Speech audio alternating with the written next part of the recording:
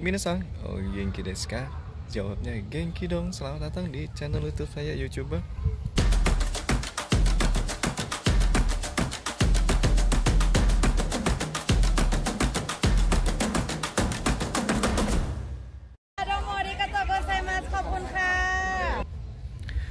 Oke guys, balik lagi di info cuaca untuk minggu ini dari tanggal 11 eh, November 2024 hingga tanggal eh, 18 17 17 18 eh, November 2024. Oke. Jadi saya agak bingung tadi ya hitungnya. Bukan bingung sih, lebih tepatnya ya karena untuk daerah Tokyo, Yokohama, uh, terus Kyoto dan Osaka itu dinginnya itu sudah benar-benar dingin ya udah-udah mungkin kalau buat kalian yang baru datang dari Indonesia ya pasti akan berasa dingin gitu ya. Nah ini saya udah ganti jaket. Yang kemarin saya pakai apa jaket yang bahan blue jeans gitu ya. Nah ini pakai jaket yang udah lumayan hangat gitu lah lumayan lumayan hangat. Karena saya nggak kuat dingin. Nih tuh udah udah kering. Dan saya udah udah nyiapin uh, pakai apa? Lip balm nih.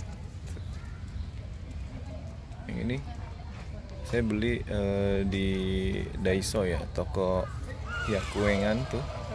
Yang harga 100 yen semua. Cuma karena pajak jadi 110 yen nah ini buat melindungin bibir biar lebih lembab gitu. Karena kalau enggak akan kering pecah tuh nih ini kering tuh kelihatan tuh, tuh. nggak enak guys. Jadi harus di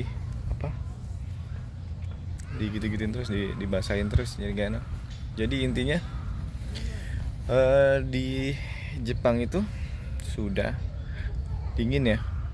Katanya sih di daerah Hokkaido sudah sempat uh, turun salju tipis gitu. Itu udah dipastikan nggak perlu ditanya lagi ya harus pakai baju kayak gimana itu udah bener harus pakai prepare lebih hangat gitu ya. Nah untuk yang di daerah Tokyo Yokohama Osaka Kyoto nah itu pakai kayak begini juga masih masih ngebantu gitulah menurut saya gitu ya. Masih masih nolong gitu.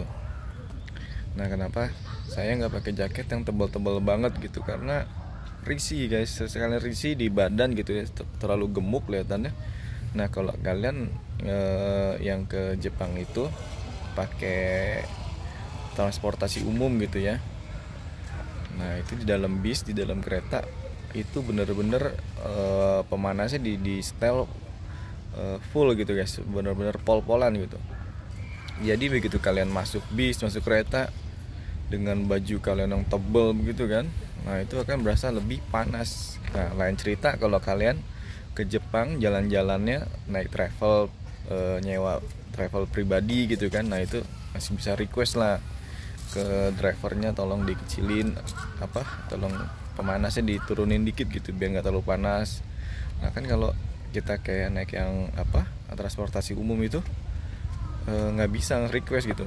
Tolong pak tolong kecilin dong gitu kan. Tolong bikin lebih dingin jangan dibikin panas banget gitu kan. Nggak bisa guys. Makanya kenapa saya pakai jaketnya ya yang nggak terlalu tebel banget guys. Nah itu juga yang pernah saya share itu pakai hitek gitu kan biar lebih hangat biarpun kelihatannya tipis kayak gini tapi di dalamnya pakai hitek. Nah kalau hari ini saya nggak pakai hitek nih untuk masih biasa aja. E, celana juga nggak pakai hitek masih pakai celana jeans biasa gitu kan. Nah, ini anginnya bener-bener anginnya udah berasa dingin guys. Nih. Tuh. Jadi mungkin kalau untuk uh, semenjak video ini upload besok ya ini sih kan bikin hari minggu nih. Tuh di hari minggu tanggal 10 November jam 11 nah mungkin ini baru saya upload besok Senin gitu kan memang jadwalnya untuk info cuaca ya. Nah ini bener dingin guys. Anginnya dingin. Kadang kalau mungkin kalau kalian lihat yang di pemberitaan di TV-TV gitu ya kondisi orang Jepang yang berpakaiannya gimana gitu kan. Jangan suka ketipu guys karena waktu pengalaman saya di Osaka dulu musim dingin uh, di musim dingin juga ada yang pakai rok mini guys. Tuh. Demi gaya mereka rela pakai rok mini keluar di saat musim dingin tuh. Jadi jangan tertipu gitu guys. Oh nggak begitu dingin menurut kalian gitu yang ngeliat oh aman santai enak. Nggak. E, faktanya sih di di lapangan tuh dingin. Apalagi kondisinya di e, Osaka. Itu anginnya kenceng yang bikin jadi lebih dingin. Nah di Kyoto itu agak ke daerah pegunungan gitu itu jadi dingin juga apalagi di Tokyo sekarang juga anginnya udah mulai berasa dingin nih. Bukan berasa dingin maksudnya. Makin ada angin angin gitu. Dingin gitu kan. Apalagi kalau kalian yang mau ke Jepang ke USJ ke Disney nah itu kan bener-bener pinggir laut. Yang anginnya bener-bener dari angin laut gitu. Nah itu membuat semakin dingin guys. Jadi nggak enak gitu kan.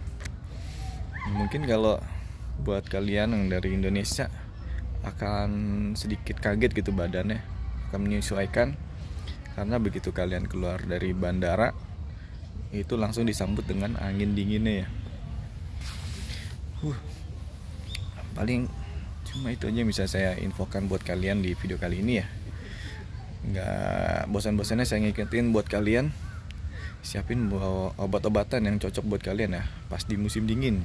Ya kayak minyak angin gitu kan obat batuk obat flu obat pusing mungkin itu akan sangat diperlukan buat kalian yang baru datang dari Indonesia ke Jepang gitu kan.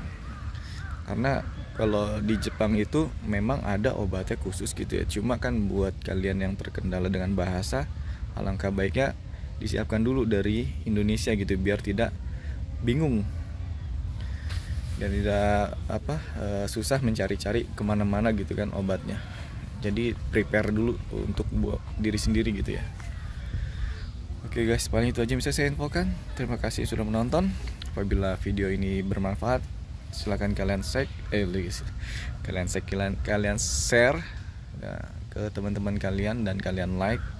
Tolong bantu channel ini biar lebih makin semangat lagi bikin videonya makin berkembang lagi channelnya.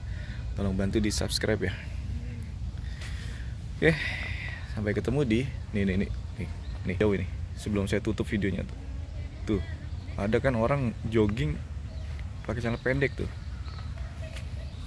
Tuh kan? Jadi kalian jangan ketipu guys.